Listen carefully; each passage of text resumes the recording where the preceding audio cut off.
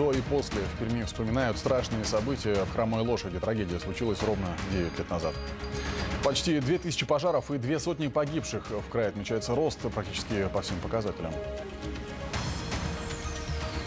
Обретение счастья. В Перми сегодня устанавливают знаменитый арт-объект на набережной. Теперь счастье антивандальное.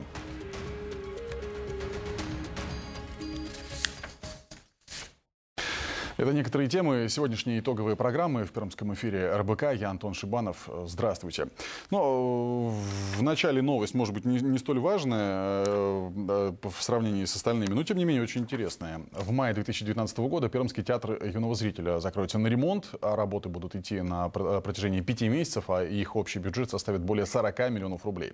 Об этом со ссылкой на радиостанцию «Эхо Перми» передает э, бизнес-класс. Сообщается, что в планах реконструкция сцены зрительного зала театра, но Кроме того, большие изменения коснутся а, планшета сцены. Рабочие обновят э, движущую поверхность и всю механику. Кроме того, будут заменены кресла зала, чтобы сделать их удобными для зрителей всех возрастов. Отмечается, что в истории театра это первый случай, когда он закрывается на ремонтные работы. На время ремонта труппа театра будет работать на гастролях, а также давать спектакли на сценах пермских дворцов культуры. Глава региона предложил МЧС увольнять руководителей отделов по профилактике пожаров. Меры жесткие, но вынужденные. За 11 месяцев года отмечен рост показателей практически по всем параметрам. Все, подробнее, все подробности у Рустама Багизова. Почти две тысячи пожаров и две сотни погибших. Это печальная статистика за 11 месяцев этого года. Причем по всем основным параметрам, заявляют в МЧС, произошел рост. Пожары плюс 6%. Людей погибло больше на треть, а детей вовсе в 5 раз больше. 10 смертей с начала года. Тенденция, как отмечают в Министерстве территориальной безопасности, была замечена еще в начале года. Меры приняли, но они оказались недостаточны. С этим согласились все. Сейчас разработаны новые. Нами предложено, соответственно, совместно с Главным управлением провести эту работу в комплексе. И сейчас у нас в каждой территории у нас есть ответственное должностное лицо, которое занимается именно организацией профилактической деятельности, которая конкретно направлена на человека, на, э, начиная с, с подрастающего поколения, то есть это со школьников, да, и, соответственно, с, с той категории людей, которые самые у нас сложные, это неорганизованные, это те люди престарелые, те, которые ограниченные, да, и пенсионеры. Главные причины пожаров довольно традиционные. Неосторожное обращение с огнем, нарушение эксплуатации электрооборудования и печей. Среди территорий худшие показатели у Ильинского, Еловского и Юрлинского районов. Там показатели погибели людей в разы превышают общие по краю. В МЧС добавляет, ситуация характерна не только для Прикамья. В 11 из 14 регионов Поволжья показатели за год ухудшились. Отсюда и совместные меры, перенимаемые у соседей. Например, смертность в ночное время должна снизиться после установки в домах специальных автономных мини-датчиков, дымоуловителей. Они раздают сильный звук и будут людей. В ряде субъектов, в том числе вот в Оренбургской области, реализована такая программа. Мы вышли с инициативой, губернатор нас поддержал. Вот 3000 таких извещателей мы уже разместили в домах, э, в частных домах граждан, там, престарелых, инвалидов. Тем не менее, даже в МЧС признают, эффективность работы все равно недостаточно, а профилактические меры в ряде муниципалитетов проводятся не всегда качественно, а порой и попросту формально. Да просто глаза надо открыть, и чтобы пожарные инспектора чувствовали свою ответственность. Там, где есть пожары, увольняйте начальников по профилактике. Просто выгоняйте с работы и все. И тогда по-другому будет вопрос стоять. И не я вас буду вызывать сюда на доклад, а вы будете у меня обивать порог и говорить, вот такой-то глава не сделал это, вот такой-то глава не сделал это, вот ваше министерство не сделало это. И диалог совсем по-другому пойдет. Министерство территориальной безопасности и МЧС о новых мерах в территориях края отчитаются напрямую губернатору. Традиционно в декабре и январе все службы будут работать в режиме повышенной готовности. Девять лет спустя в Перми вспоминают погибших при пожаре в ночном клубе «Хромая лошадь». Крупнейшая трагедия в России по числу жертв произошла в ночь на 5 декабря, унесла жизни 156 человек. В девятую годовщину пожара пермяки возложили цветы, зажгли свечи у памятного знака в сквере уральских добровольцев. Собравшиеся почтили память погибших минуты молчания. Пожар в клубе «Хромая лошадь» произошел во время празднования восьмилетия заведения. Причиной стало неосторожное использование пиротехники. От искры вспыхнул потолок, огонь охватил помещение. Виновными в трагедии признали 9 человек, учредителей клуба Анатолия Зака, Константина Мрыхина, исполнительного директора Светлану Ефремову, арт-директора Олега Фиткулова, пиротехников Сергея и Игоря Дербеневых, также инспекторов Госпожнадзора Дмитрия Рослякова, Наталью Прокопьеву и главу службы Владимира Мухуддинова. Анатолия Зака приговорили к 9 годам и 10 месяцам лишения свободы. Остальные получили от 4 до 6 лет колонии. Ну а Владимира Мухуддинова суд освободил от тюремного заключения, назначив штраф. На сегодня часть осужденных уже отбыла свой срок. Э, в ту ночь при пожаре 111 человек погибли на месте. Еще 45 пострадавших скончались в больницах. От огня и ядовитого дыма пострадали 234 человека. Трагедия стала крупнейшей в России по числу жертв. Что изменилось спустя 9 лет после той страшной трагедии в регионе, в России, это тема для обсуждения э, с нашим гостем. В нашей студии Вадим Попов, э, временно исполняющий обязанности замначальника управления надзорной деятельности и профилактической работы ГУМЧС России по Пермскому краю. Вадим Владиславович, приветствую вас. Добрый вечер. И спасибо за вашу отзывчивость. Но в начале нашей беседы касаемо претензий со стороны краевых властей. Есть какая-то реакция ведомства уже э, на этот счет? И, возможно, какие-то меры уже известны? Да, Антон, понимаю, при всей актуальности заданного вопроса в данный момент э, обсуждать данную тематику не входит в мою компетенцию, поэтому предлагаю угу. к другим вопросам. Ну, не мог не спросить, что называется, да, но э, хорошо. До и после, что изменилось после хромой лошади? Именно э, вот эти слова я э, вывел в заголовок нашей беседы. Что изменилось? Ну, тут бы я хотел вернуться действительно к тем э, временам, 2009 год, к трагическим событиям, которые несли огромное количество жизней людей. Какие были извлечены из этого уроки? Первое, что было предпринято правительством Российской Федерации, это, естественно, ужесточение мер административной ответственности.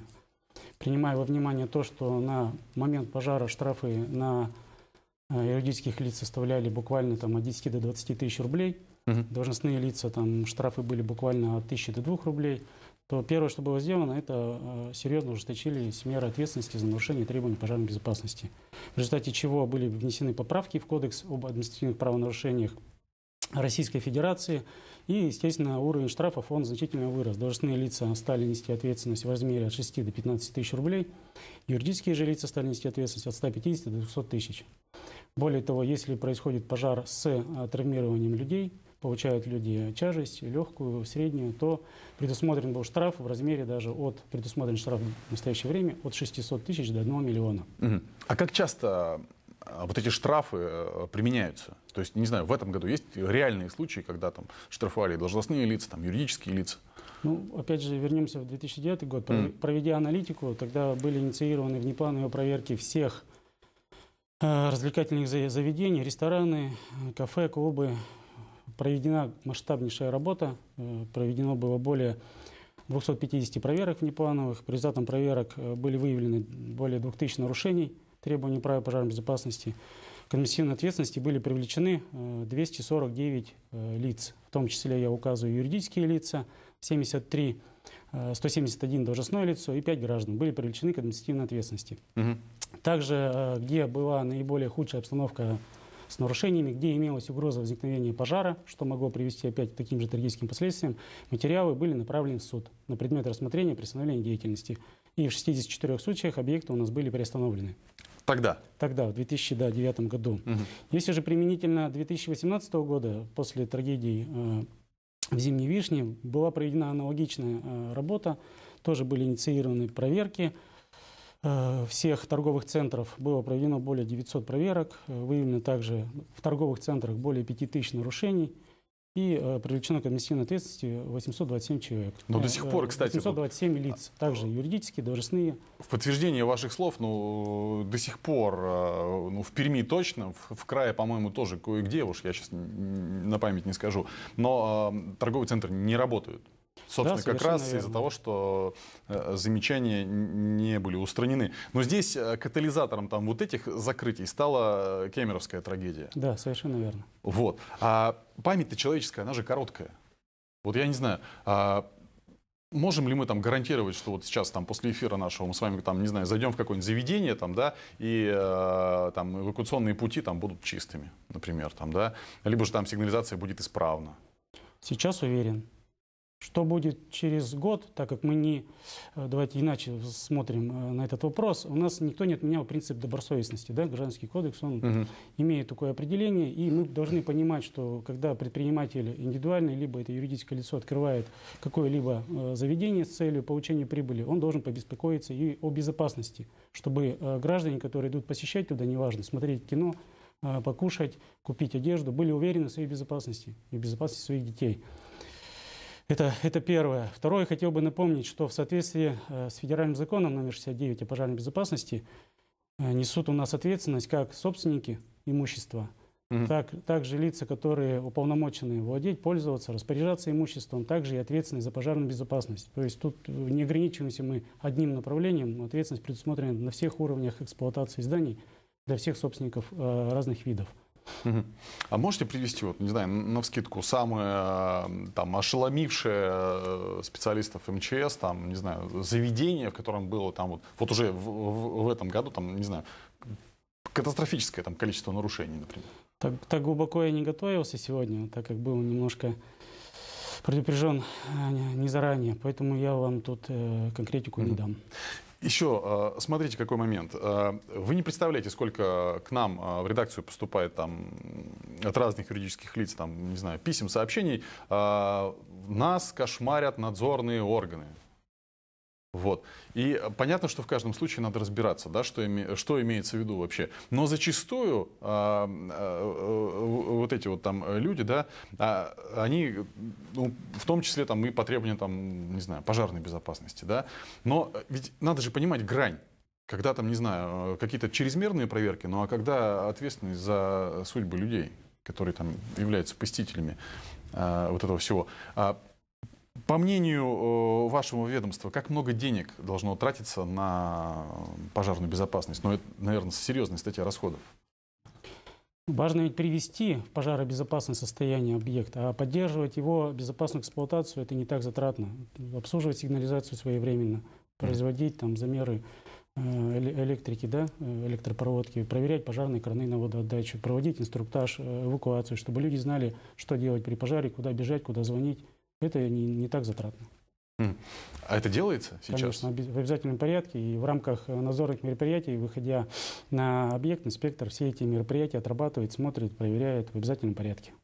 С точки зрения полномочий вашего ведомства, как они изменились вот э, за, за это время, за эти 9 лет? Ну, Расширились? Полномочия, э, они, конечно же, на месте не стояли. Был введен в действие, у нас принят федеральный закон номер 294 Э, защите прав юридических лиц, индивидуальных предпринимателей при проведении э, надзорных мероприятий.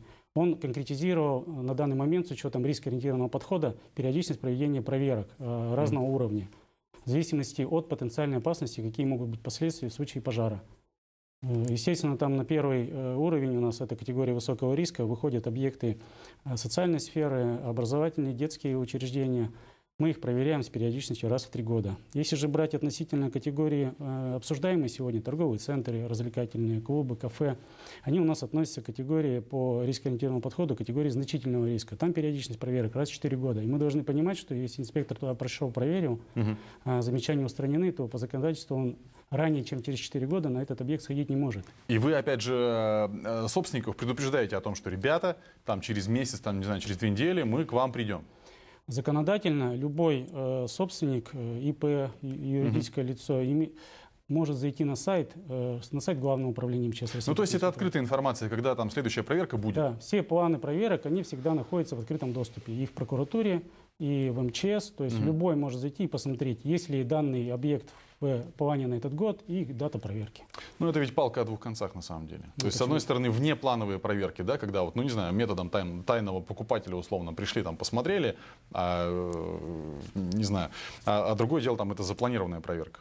Ну, к ней, то есть, есть возможность подготовиться, где-то, не знаю, там, что-то, а, посмотреть готовность датчиков, что как работает на, на внутреннем уровне. То есть не гарантия того, что все сработает должно, не дай бог, в, штат, э, в нужный момент. Нет, выходя на внеплановую проверку, угу. мы также в обязательном порядке сотрудник э, за один рабочий день должен уведомить предпринимателя, либо юридическое ну, за лицо, один, предстоящий. За один-то день сложно смонтировать э, сигнализацию, например. Ну, э, хорошо. А последний вопрос. Меньше минуты у нас осталось времени, если можно кратко. Менталитет бизнеса, э, ответственных лиц изменился за эти 9 лет? Да, э, повернулись они лицом, понимают, что обеспечение пожарной безопасности – это дело каждого. И если этого не будет, последствия могут быть очень печальны. То есть это вот реально то, что есть? Да. И, и средства вкладываются, средства и силы, вкладываются. и тренировки? Да, да, да, совершенно верно. Спасибо большое. А, Вадим Попов в нашей студии, э, в РИО замначальника управления надзорной деятельности и профилактической работы ГУ МЧС России по Пермскому краю. Ну, обсуждали мы э, то, как э, изменился мир, Пермь, регион, ну, Россия после трагических событий в хромой лошади. Вадим Владиславович, спасибо большое. Спасибо и вам. Спокойного вам труда. Заключение только можно минуточку Кратко. еще? Да.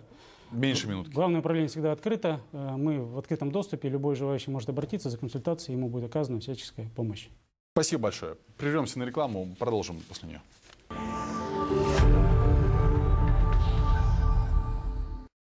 Коммерческий транспорт Ford Transit от 1 миллиона 384 тысяч рублей в наличии в Альфа Гарант. 2 700 345. Загадайте себе идеальный отдых – Место, где можно отдохнуть душой в кругу близких и родных. Идеальный Новый год здесь. Курорт Усть-Качка.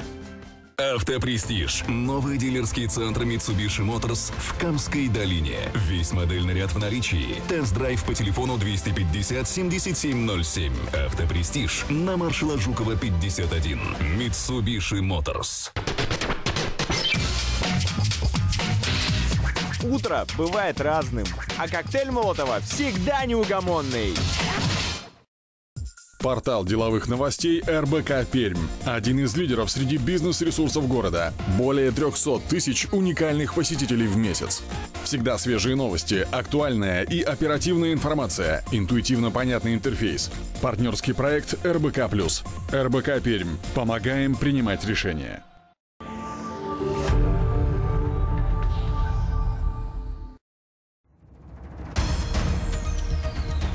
Спасибо, что остаетесь с нами. И прямо сейчас в нашем эфире а, обзор наиболее интересных э, событий из российской и мировой повестки. Его подготовила Юлия Якушева. Юль, приветствую тебя. Я слышал, есть новости о российских футболистах, но не обо всех, а как минимум а, о двух. Приветствую, Антон. Совершенно верно. Сегодня решается, останутся под стражей или нет. Небезызвестный Мамаев и Кокорин. Ну, будет это известно до вечера, надеемся. Ну а пока к международной повестке. Россия получила от США и НАТО документы по поводу договора о ликвидации ракет средней и меньшей дальности. Об этом сообщил официальный представитель российского МИДа Мария Захарова. В ней говорится, что Вашингтон готов выйти из соглашения через 60 дней, если Россия не вернется к соблюдению условий договора. Мария Захарова в ответ на ультиматум заявила, что Москве не представлено никаких доказательств нарушений России. Дипломат добавила, что в столице приняли документы для дальнейшей проработки. Напомню, 22 октября американский лидер Дональд Трамп Трамп объявил, что Вашингтон в одностороннем порядке выйдет из договора о ракетах средней и меньшей дальности. Соглашение в 1987 году подписал президент, подписали президенты США и СССР Рональд Рейган и Михаил Горбачев. В советских газетах договор называли первым шагом к безъядерному миру. Аэропорт Шереметьево может получить имя Александра Пушкина, Домодедова Михаила Ломоносова. Таковы итоги голосования конкурса «Великие имена России». Помимо этого, стало известно, что аэропорт Храброво в Калининграде получит имя императрицы Елизаветы Петровны. Аэропорт в Калуге может быть назван в честь ученого-изобретателя Константина Циолковского. Красноярский аэропорт может получить новое имя в честь певца Дмитрия Хворостовского, а Нижегородский аэропорт планирует назвать именем летчика Валерия Чкалова. Всего 40 42 российские воздушные гавани обзаведутся новыми именами в честь великих людей. Список будет подан в правительство, затем указ о переименовании подпишет президент. Важное дополнение – великий, великое имя не меняет название аэропорта, а дополняет. Так что в международной системе Шереметьево имени Пушкина, Домодедово имени Ломоносова так и останутся. Как до сих пор остаются по версии Международной организации гражданской авиации аэропорты Ленинград, Свердловск или Киров. Полузащитник Краснодара Павел Мамаев и нападающий «Зенит» Александр Кокорин впервые встретились после ареста в октябре. Сегодня в Тверском районном суде Москвы проходит заседание, на котором решится, останутся ли футболисты под стражей или будут отпущены. Ранее сообщалось, что дела Кокорина, Мамаева, брата Кокорина Кирилла, Александра Протасовицкого, до, недавнего времени выступавшего за команду любительской футбольной лиги, будут слушаться в одно время в одном зале. Судья, работающий по отделу игроков, считает, что они совершили преступление, которое опасно для общества.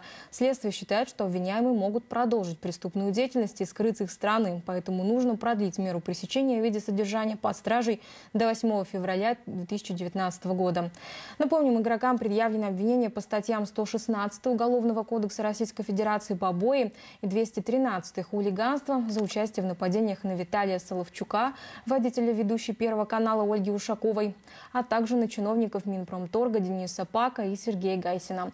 Кокорин и Мамаев помещены под стражу в столичной СИЗО-2 «Бутырка» до 8 декабря. Российская компания Яндекс на презентации представила свою новейшую разработку – смартфон. На телефон будут предустановлены основные сервисы Яндекса. В том числе по умолчанию будет включен голосовой помощник Алиса. Экран смартфона более 5,5 дюймов. Также телефон имеет 4 гигабайта оперативной и 64 гигабайта встроенной памяти. Корпус устройства выполнен из стекла и алюминия, а аккумулятор имеет емкость 3600 мАч. Телефон работает на чистой версии Android 8 1 с надстройкой от Яндекса. Яндекс Телефон получил предустановленный голосовой ассистент Алиса, который можно запустить из любого приложения. Также он имеет определитель номера, предупреждающий пользователя о звонках от спамеров и ботов. Цена устройства составляет 18 тысяч рублей. Продажи начнутся 6 декабря. Напомню, в мае этого года Яндекс выпустил собственную умную колонку «Станция». Юль, спасибо тебе большое. Держи нас в курсе. Особенно интересно, найдет ли своего покупателя этот новый смартфон да. там, от российской компании. Ну, время покажет. Спасибо.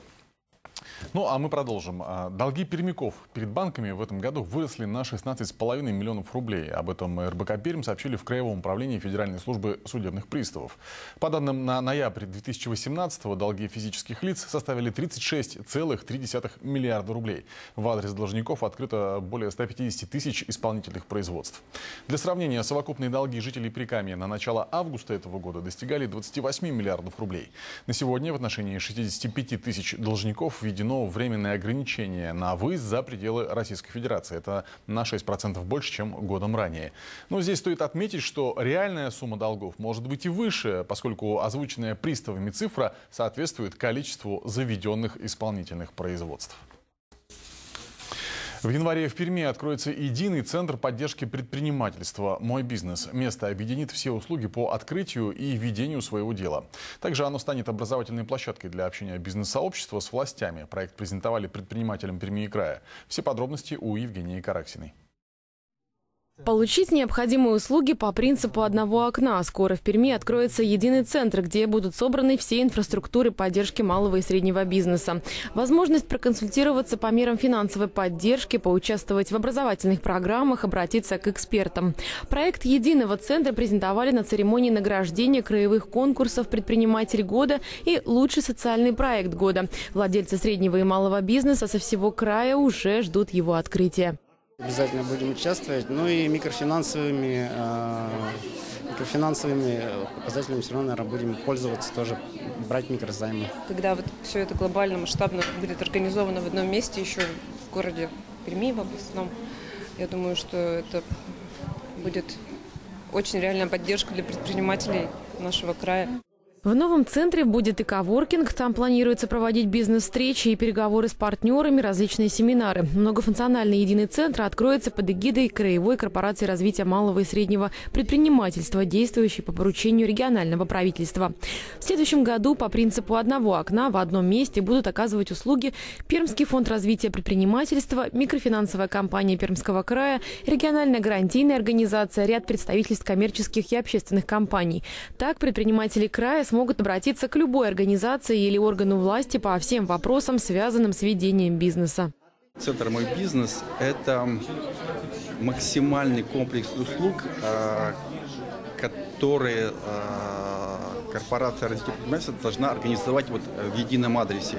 Потому что сейчас самое главное для бизнеса – это время. Ну, как это? Время – деньги. Поэтому мы должны быть доступны, понятны, открыты и сделать так, чтобы в этой единой точке доступа предприниматель мог решить, если не все, то большое количество вопросов и тех задач, которые, так скажем, у нас совместно стоят. Единый центр поддержки малого и среднего бизнеса расположится по адресу Акулова, 75, дробь 1 и будет открыт для предпринимателей с 8 утра до 8 вечера. Прямо сейчас э, реклама, после нее мы вернемся в студию и продолжим.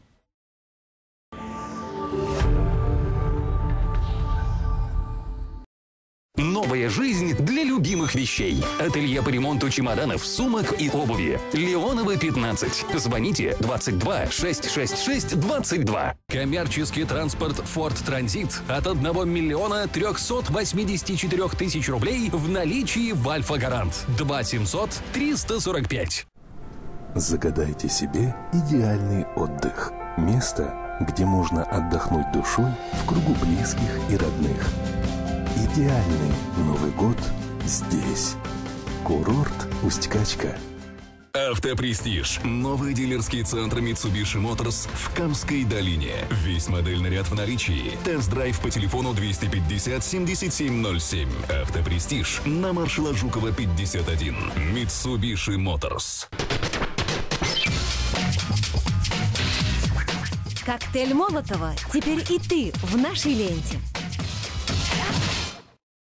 Портал деловых новостей РБК Пермь. Один из лидеров среди бизнес-ресурсов города. Более 300 тысяч уникальных посетителей в месяц.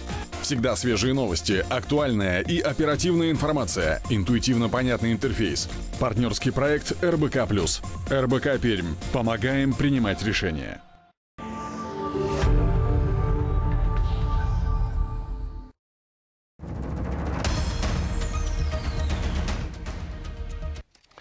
Мы продолжаем. 10 школ Прикамья получат по миллиону рублей на развитие материальной базы для кадетских классов. Решение сегодня объявили на заседании правительства Пермского края.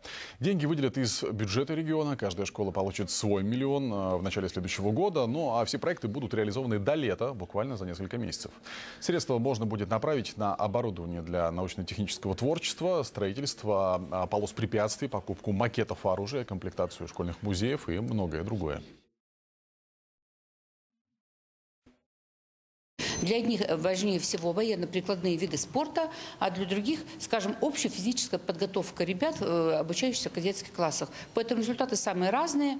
Э, по реализации этого проекта мы уже посмотрим, стоит ли их унифицировать, либо каждая школа должна добиваться своих результатов. Я скорее за второй подход. На конкурс заявились практически э, все кадетские классы края, 25 из 27. Победители – это школы э, Перми, а также ряда районов края – Кунгурского, Чусовского, Чайковского и других. Ученые Пермского государственного национального исследовательского университета создали компьютерную программу «Лазер», способную помочь судьям быстрее и качественнее писать мотивировочную часть решения по делу. Рабочую версию «Лазера», так называется программа, уже презентовали на 9-м Пермском конгрессе ученых-юристов. Но а, запустить программу в юридическую практику создатели планируют в 2020 году. Но тем временем в судейском сообществе к нововведению отнеслись э, как минимум с осторожностью. Но Э, сейчас о лазере правосудия и э, поговорим. В нашей студии Ирина Конюкова, юрист, и Сергей Поляков, профессор кафедры теории и истории государства и права классического университета. Приветствую вас прежде всего. Добрый вечер. И э, благодарю за вашу отзывчивость. Сергей, наверное, вопрос к вам. Лазер правосудия Рассказывайте, инновационная разработка. Ну, немножко тут надо уточнить. Мы еще не создали, это только еще часть какой-то работы, которая предстоит еще завершать. И к 2020 году только еще для запуска в эксперимент и доработки, угу. для представления научному сообществу, для углубления, скажем так, алгоритмов э, и так далее. Э, здесь, может быть, какие-то сразу могут существовать заблуждения насчет искусственного интеллекта, судьи не будет, будет машина и так далее. Тут заблуждение. Мы сделаем, ну, вроде как образ, э, автоматическая коробка передач. Угу. Для того, чтобы были подсказки, а судья никуда не убирается. Он должен делать выборы из того, что предлагают стороны, из того, что существует в законе. Обсуждают это участники судебного дела, и он высказывает аргументы по поводу своего выбора. И в этом же процессе заполнение тех форм, которые составляют содержание программы, это является одновременно составлением мотивированного решения. Но э, с точки зрения практики, ну, идет судебный процесс. А, не знаю, э, какой-то ноутбук, очевидно, да, перед э, судьей, там, ну, ЭВМ, значит, и отягчающие обстоятельства, галочку поставить, да, нет, да, нет. Так? Смягчающие обстоятельства, да, ну, нет, если да, нет. грубо, то да, только надо аргументы привести. А чем это доказывается, в чем это отягчающее обстоятельство выразилось и так далее, и так далее, и так далее. То есть подробно и не забыть про все указать. Так, а, Ирина, практикующий юрист, э, что скажете? Я, честно, с настороженностью к такому аппарату бы относилась. Но, во-первых, здесь, наверное, нужно уточняющие вопросы задать. Все-таки планируется э, это в гражданском процессе запустить, В административном. административном судопроизводстве, в уголовном. Каким образом будет происходить заполнение этих форм? А, Для чего создается этот аппарат? То есть он для сокращения времени, для вынесения, для написания мотивированного решения? Или он- будет а, создан именно для подсказки судье, какое решение вынести?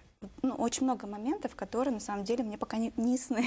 Ну, давайте конца. э, господину Полякову адресуем эти... Для э, предупреждения логических ошибок, даже и грамматических ошибок, и э, для того, чтобы не забывали, не забывали те или иные аргументы, которые привели стороны, а им дали ответ, но и главное мотивированное решение. Если мы не сможем создать э, продукт, который будет облегчать работу судей, мы им Мгм. просто ничего не будем предлагать.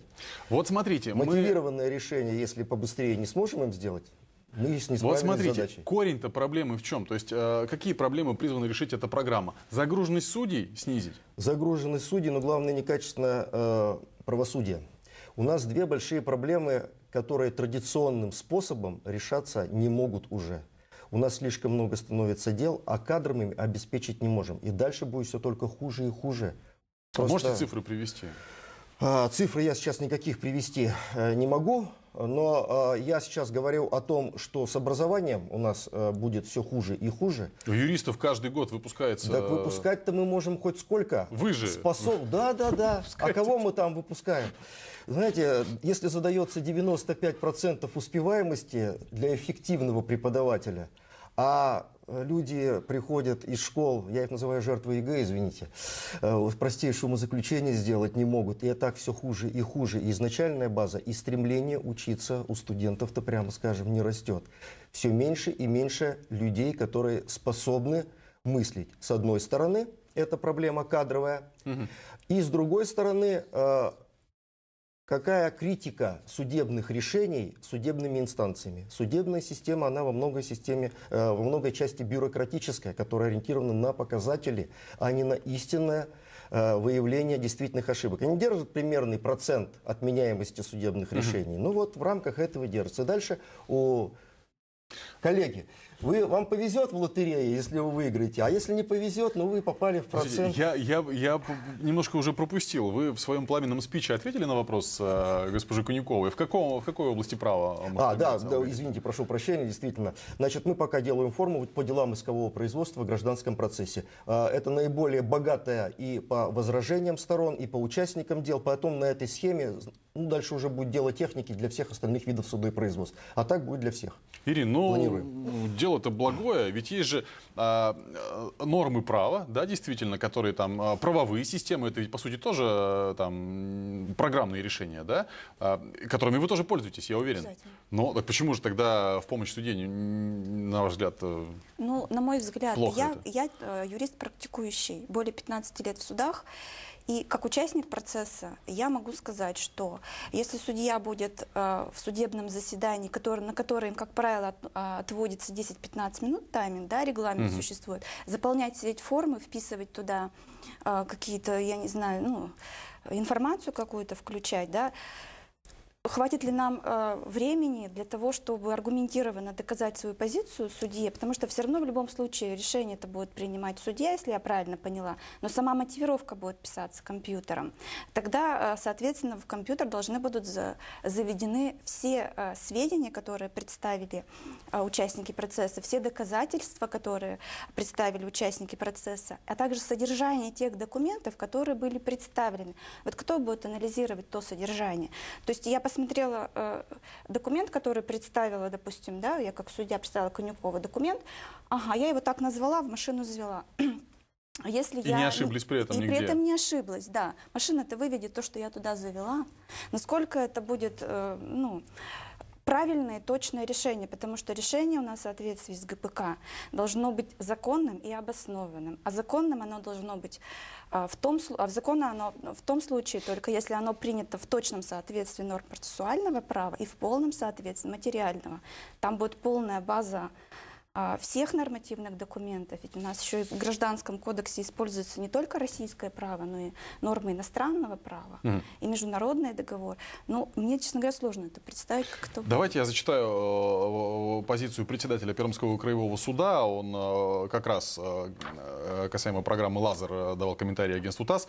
Э, Я цитирую. «Э, «Судья в процессе судопроизводства, оценив доказательства по делу, осуществляет выбор подлежащих применению в конкретном деле норм, да- дает, собственно, их толкование и э, принимает решение в пределах предоставленной ему законом свободы усмотрения.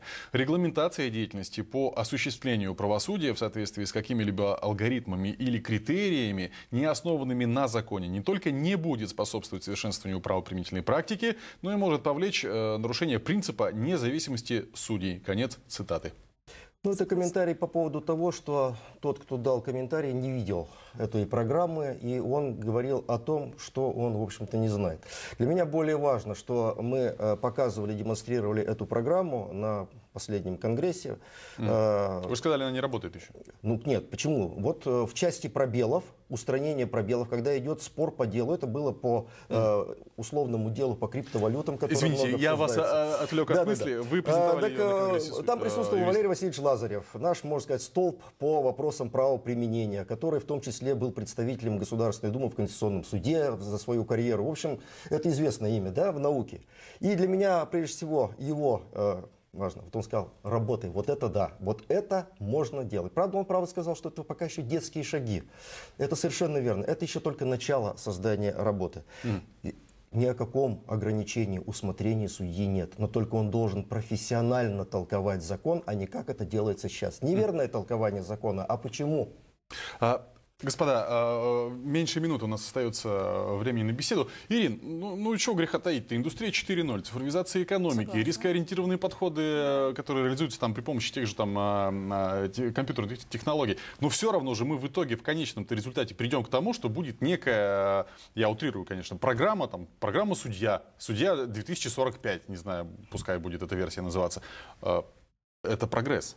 Это прогресс, безусловно, мы к этому все идем, но я не знаю, сколько лет должно пройти, чтобы создать такой вот, вот такой вот продукт, который учтет все, э, все нюансы в юриспруденции. Это, ну, на самом деле, это же очень сложная область.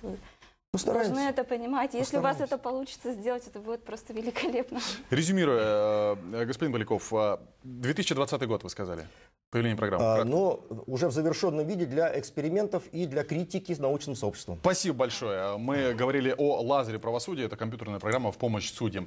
Реклама, после нее продолжим. Спасибо вам большое. И вот здесь-то нам времени не хватило, потому что два спикера.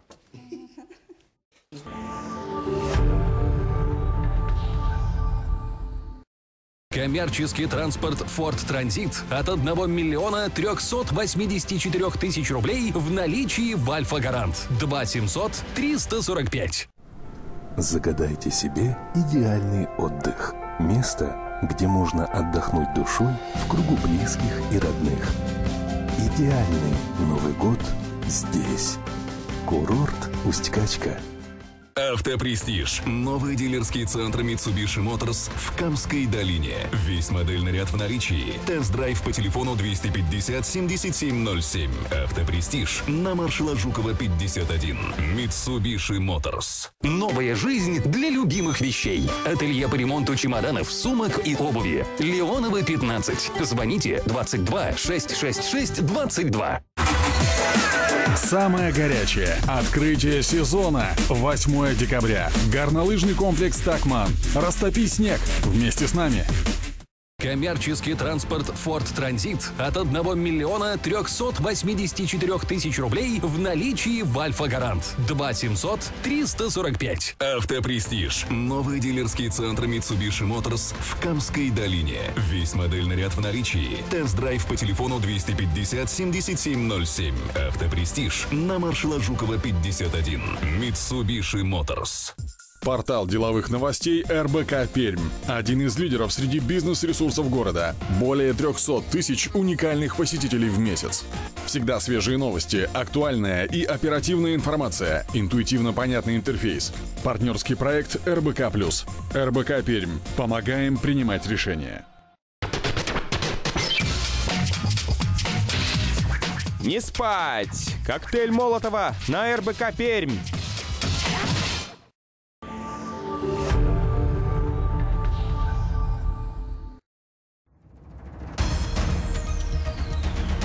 Еще несколько новостей сегодняшней повестки. Пермские травмпункты перешли в режим повышенной готовности с наступлением холодов. Количество обращений уже выросло на 15%. Татьяна Александрова продолжит.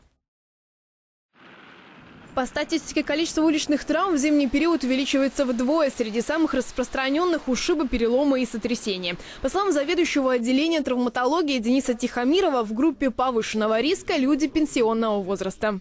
Примерно рост 10-15% к общему количеству этих больных, э, если относительно анализ проводить сезона года. Когда наступает зимнее время года, мы видим всплеск травматизма. В первую очередь это касается травм нижних конечностей. Если мы рассматриваем пациентов молодого среднего возраста, это переломы лодыжек, это переломы костей голени, нижняя треть бедра. Когда мы говорим о пожилом старческом возрасте, то здесь наблюдается увеличение количества больных с переломами шейки бедра. Топ-3 самых травмоопасных мест зимой – придомовые территории, пешеходные переходы и остановочные пункты. Городская территория, в том числе вышеперечисленные места в ведении управления внешнего благоустройства. Мы формируем специальные бригады из ручников, которые ездят в, у нас по маршруту уличной дорожной сети и в первую очередь подсыпают пешеходные переходы, спуски, подъемы именно там, где образовывается накат. За содержание придомовой территории отвечает управляющая компания или ТСЖ. За частные территории ответственность несут собственники. Согласно закону, с той или иной стороны пострадавший вправе взыскать моральную и материальную компенсацию. Необходимо понимать, что а, собственник не всегда несет сам ответственность за благоустройство своей территории, он может передавать свои права и обязательства иной организации. Прежде всего необходимо зафиксировать сам факт падения. Для этого хорошо было бы составить акт о состоянии дорожного покрытия. А, для этого понадобится два свидетеля. Вы можете взять любого человека с улицы, зафиксировать его контактные данные, фамилию, имя, отчество. Обязательно сохраняйте чеки и а, любые квитанции о покупке лекарств и а, медуслуг. Доказательства с платежными документами и оформленные претензии на организацию предъявляем в суд. В соответствии со статьей Налогового кодекса истец имеет право не платить госпошлину по иску о причинении вреда. Сумма компенсации материального вреда определяется на основании чеков и иных платежных документов. А вот оценить размер компенсации морального предстоит вам. Сумма может быть любой. Однако, как показывает практика, положительный исход событий для ИСА – большая редкость. И главная причина – отсутствие доказательств, отмечает юрист. Оценили инициативу. Компания «Азот», производитель минеральных удобрений, стала победителем городского конкурса «Эко-имидж-2018» в номинации «Экологическая инициатива». Участие в нем приняли 9 предприятий из Березняков. Конкурс «Эко-имидж» организуют местные власти. В этом году он прошел в третий раз. Победители выбирали в пяти номинациях. Отметим, филиал «Азот» активно участвует не только в городских мероприятиях, но и во всероссийских, краевых акциях. Ну, например, таких как сбор батареек, макулатуры, высадка деревьев, субботники. Отдел экологии филиала ежегодно презентует экологические отчеты компании. Так, затраты на экодеятельность в прошлом году составили почти 130 миллионов рублей. Ну а в этом компания вложила в природоохранные мероприятия 173 миллиона рублей. На Пермской набережной устанавливают восстановленный арт-объект «Счастье не за горами». Ну, к полудню была установлена только, были установлены только несколько букв, но подрядчики обещали, что уже к вечеру э, в эти часы надпись полностью вернется на прежнее место. Подготовительные работы начались в начале недели. Перед установкой работники очистили и покрасили бетонное ограждение. В отличие от предыдущей версии, каркас отремонтированного арт-объекта сделан из толстостенной металлической трубы, а сами буквы из влагостойкой фанеры. Проектная организация сделала расчет на ветровые нагрузки. Напомню, арт-объект «Счастье не за горами» был создан российским художником Борисом Матросовым в 2005 году для фестиваля «Арт-поле». В 2009 году объект был установлен на набережной около речного вокзала. И лишь в 2018 году около арт-объекта появилась табличка с указанием имени автора. В начале октября этого же года пермский художник Алексей Илькаев, известный под псевдонимом Set Face, изменил надпись «Счастье не за горами» на «Смерть не за горами». Позже в мэрии заявили, что они настроены более оптимистично и что арт-объект восстановят. Для этого потребовалось два месяца. Мы продолжаем э, цикл интервью с победителями э, краевых конкурсов э, «Лучший предприниматель года» и «Лучший социальный проект года». И в нашей студии Мария Колесникова, учредитель частного дошкольного образовательного учреждения с простым и незамысловатым названием «Чудо», город Чайковский. Мария, приветствую вас. Здравствуйте. Спасибо, что нашли э, время, минутку в своем э, чудесном графике да, для посещения нашей студии. А, рассказывайте, каких успехов вы добились, о чем свидетельствует э, победа, в общем-то, в конкурсе, в какой номинации? Работа с людьми с ограниченными возможностями здоровья, непосредственно это дети. Угу. Вот, которые, к сожалению, вот, столкнулись вот с такими проблемами в здоровье. А это дети с множественными нарушениями в развитии. Это вот наша аудитория, которую мы принимаем в рамках нашего проекта, в рамках нашего учреждения, частного дошкольного образовательного учреждения «Чудо». А, как вы к этому пришли? Как вы поняли, что вообще много ли у вас конкурентов в Чайковском? Да? Как вы а, осознали, да, что вот это социальное предпринимательство, да, оно ведь, ну да, действительно социальное, там общественное, но это же предпринимательство. А, так сложилось в моей жизни, что а, первый ребенок, которого mm-hmm. мы очень ждали, а, у нас была очень серьезная родовая травма, mm-hmm. и нам впоследствии поставили диагноз ДЦП, вот, а, тяжелой степени. И я вот тогда и начала сталкиваться с рядом проблем, которые вот меня а, сподвигли на то, чтобы как-то помочь своему ребенку и в том числе помочь всем остальным детям, родителям, которые оказались в той же ситуации, в которой оказалась я. Угу. А, на сегодня вот, а, данное учреждение является единственным в Пермском крае, только по той причине, что мы принимаем детей в наше учреждение, а, которые совершенно не имеют навыков к самообслуживанию. Это дети, которые, а, ну, так скажем, э, лежачие дети, за которыми нужен э, специальный уход.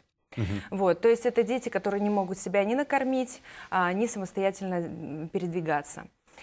И наши специалисты, а на сегодня, на сегодня это, так скажем, вот э, большое количество специалистов, которые сегодня работают а, с нашими детьми, которые вот как-то помогают нашим детям приобрести а, элементарные навыки базовые навыки самообслуживания, предоставляют им а, образование в той степени, насколько это возможно, и по тем программам, которые, а, которые разработаны специально для определенных категорий детей, для того, чтобы а, суметь и смочь им помочь и вывести как-то вот к восьмилетнему возрасту их на какой-то уровень, чтобы они смогли в дальнейшем обучаться в школе. Угу. Насколько велик штат э, персонала вашем а, учреждении? Судя по тому, что на сегодня а, дошкольное учреждение вмещает 16 а, детей, это небольшое учреждение.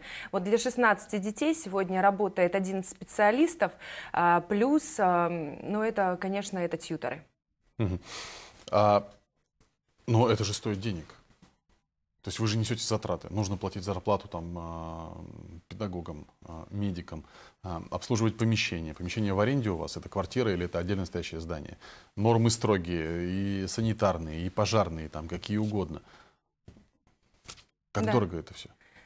Мы прошли, прошли этот путь, а, стро- строилось учреждение, значит, три года. Вот, строилось, а, ну, так скажем, силами, силами бизнеса, социально ответственного бизнеса нашего города.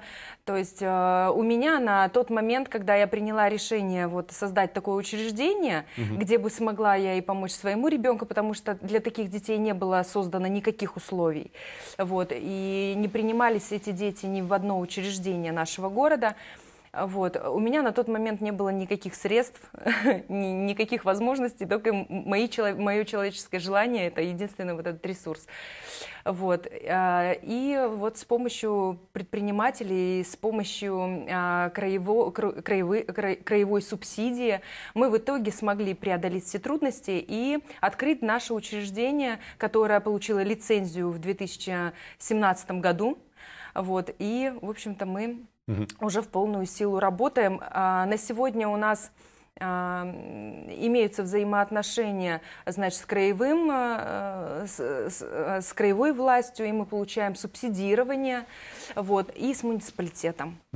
Это отдельно стоящее здание, либо же это формат, э, я не знаю, э, квартирного учреждения или как? Да, да, мы находимся в жилом фонде.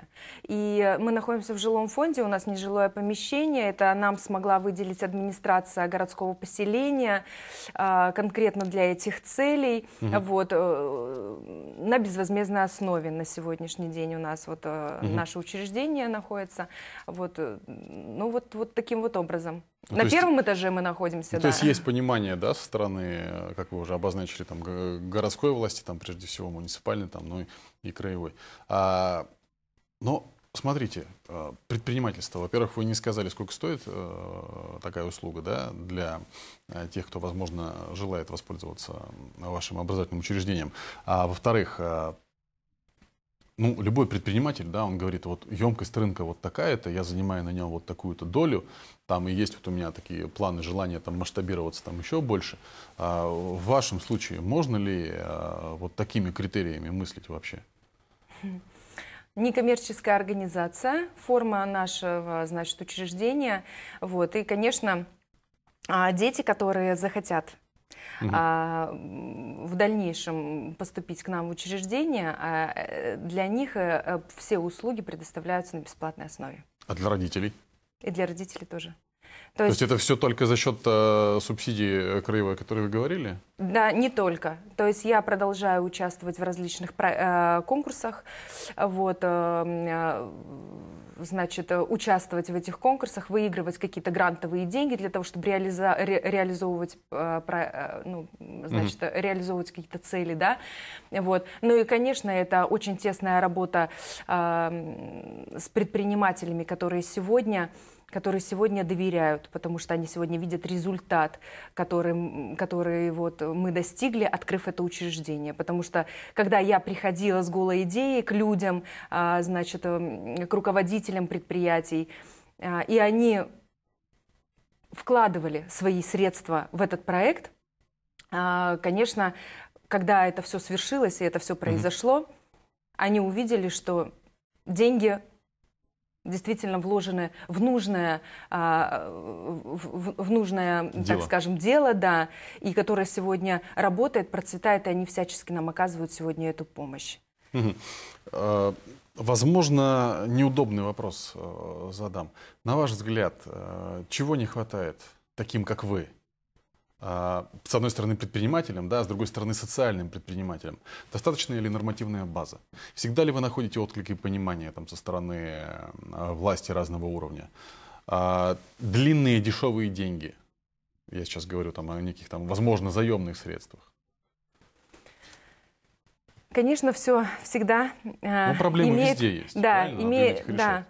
Вот, я, знаете, не хочу ничего плохого сказать, э, по крайней мере, я благодарна, благодарна сегодня своей территории, благодарна а, краю, которые сегодня поддерживают, поддерживают это учреждение, которые помогают. Конечно, есть, есть э, моменты, которые бы хотелось, в которых бы хотелось сотрудничать потеснее, да, и участвовать э, в каких-то программах, э, которые, Мгм. которые нам позволят, нам, социальным предпринимателям, в дальнейшем развивать то, что мы делаем для, для, э, вот этой данной категории детей, людей. Вот. Конечно, хотелось бы больше понимания. Вот. И... Ну, понимание, что вы имеете в виду? Открытости? То есть вообще, не знаю, мне кажется, э, это та история, которая должна решаться, там, не знаю, путем прямого телефонного звонка там, а, а, новому главе там, Чайковского городского округа. Вот настолько тесные должны быть отношения. Складываются они или еще нет? Я Неловкий дум- вопрос. Неловкий вопрос, конечно. А, э, Они, я думаю, что все будет хорошо. Я думаю, что все будет хорошо. Я, по крайней мере, на это надеюсь. Тем более, что новая метла по-новому метет. Ну, н- я, Возможно. я к, к тому, что новый глава, а, опять же, городского округа. Да, Главное, в лучшую сторону. Да, естественно, в лучшую сторону. А, а, по поводу э, э, взаимодействия и просветительской, что ли, какой-то вот э, истории там со стороны края, да, фонд развития предпринимательства. А Он помог вам? И чем? Мы э, изначально, э, изначально, когда э, я еще была в стадии, значит, только вот открытия учреждения, э, фонд э, помог тем, что они подхватили, так скажем, меня на свои, э, на свои руки и э, помогли э, в тех моментах, в которых я, к сожалению, плавала. Каким, каким образом, значит, решить какие-то вопросы э, социального характера, на кого можно выйти, в каких программах можно поучаствовать. То есть вот я так, ну, это немножко объемно это все вот э, Нормально. говорю вот но тем не менее тем не менее поддержку я всегда чувствовала с, с этой стороны а, вот и я им искренне благодарна Что необходимо, возможно, улучшить? А, Я имею в виду больше семинаров, какой-то просветительской деятельности для таких же вот звездочек там из территории, как вы, например, да, А, э, людей там с гигантским душевным потенциалом, да, но которым не хватает, может быть, знаний а, в сфере там налогообложения, юридических каких-то знаний. Что нужно исправить? Знаете, я думаю, что развиваться это всегда хорошо и всегда есть э, куда стремиться. Но тем не менее, вот, э, конечно, хотелось бы больше, э, чтобы у нас было налажено взаимоотношения и побольше, побольше консультаций в отношениях, опять же, э, государственных, ну, государственной поддержки. Какие новые, э, какие, какие новые программы разработаны, например, Мгм. государственными структурами, где можно поучаствовать той или иной конкретной э, это, значит, Организации. да, некоммерческой организации. Потому что мы некоммерческая организация, и вот э, нам у нас есть определенные да, рамки, в которых мы находимся. Вот, и нам вот это вот э, была бы это колоссальной помощью, если бы мы постоянно понимали, где мы можем поучаствовать, куда мы можем обратиться, что это нам даст. Вот, и мы бы смогли достигать больших результатов на самом деле, на краевом даже уровне, а не просто на территориальном. Что, что бы случилось? э, Я плавно перехожу к последнему вопросу в нашей беседе о, о творческих планах, разумеется. Вы планируете свой опыт э, транслировать, ну, там, не знаю, на соседние территории? Может быть, передавать его, э, создавать некие филиалы, находя там таких же звездочек там где-то там по соседству? Я, конечно, не хотела бы, не хотела бы раскрывать всех карт, как Ну, говорится, конечно, да? конечно. Вот, но тем не менее, конечно, а, у меня душа болит а, за мою, за, а, значит, а, за мою категорию детей, которых мы принимаем, над которыми мы работаем. И я понимаю, что для них сегодня не развита а, значит, а, э, инфраструктура. Вот, ее нужно налаживать, над ней надо очень серьезно работать, чтобы эти дети, они имели возможность полноценной жизни, вот в полном смысле этого слова. Поэтому а, здесь надо, конечно, а, над этим очень серьезно работать. Есть планы а, э, о дальнейшем их развитии вот этих детей вот, на краевом уровне. Спасибо большое. Мария Колесникова в нашей студии, учредитель частного дошкольного образовательного учреждения «Чудо» из города Чайковский. И действительно то, что она делает, это э, иначе как чудом не назовешь. Между прочим, победитель э, краевого э, победитель краевого конкурса «Лучший социальный проект года» в номинации «Лучший социальный проект» в сфере оказания услуг людям с ограниченными возможностями. Мария, вам успеха! Не теряйте вот этого задора, задора, который у вас есть. И удачи! Спасибо огромное. Спасибо. Спасибо. Таковы информационные итоги уходящего дня. Спасибо, что выбираете РБК. Увидимся в нашем эфире. До встречи.